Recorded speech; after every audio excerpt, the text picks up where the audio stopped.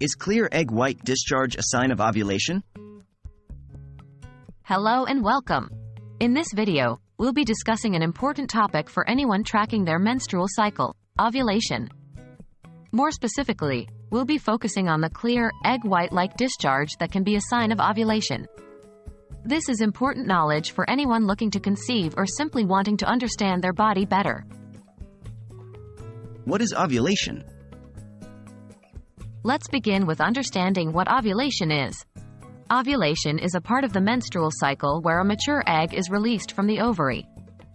It's ready to be fertilized and usually occurs around 12 to 14 days before your period starts.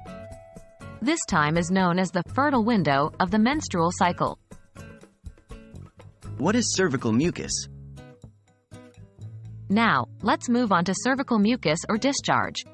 This is a natural bodily fluid that's secreted by the cervix throughout your menstrual cycle. Its consistency and volume change based on hormonal fluctuations throughout the cycle. Cervical mucus is crucial for fertility as it aids the transport of sperm to the egg. Is clear egg white discharge a sign of ovulation? Finally, we reach our main topic, the clear, egg white discharge and its relation to ovulation. Right before and during ovulation, cervical mucus can become clear and stretchy, similar to egg whites. This is due to the peak in estrogen levels. The purpose of this egg white cervical mucus is to provide the best possible environment for sperm.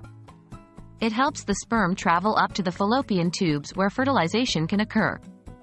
Therefore, clear egg white discharge can indeed be a sign of ovulation. In conclusion, clear egg white discharge can indeed be a sign that you're ovulating. It's one of the body's natural ways to facilitate conception. It's important to remember, though, that everyone is different. Some may not notice this change, or may have different patterns of cervical mucus. Therefore, while it's a useful indicator, it's not the only sign of ovulation. Consult with a healthcare provider for personalized advice about your menstrual cycle and fertility. Thank you for watching, and we hope this video has been helpful in understanding your body and the signs of ovulation.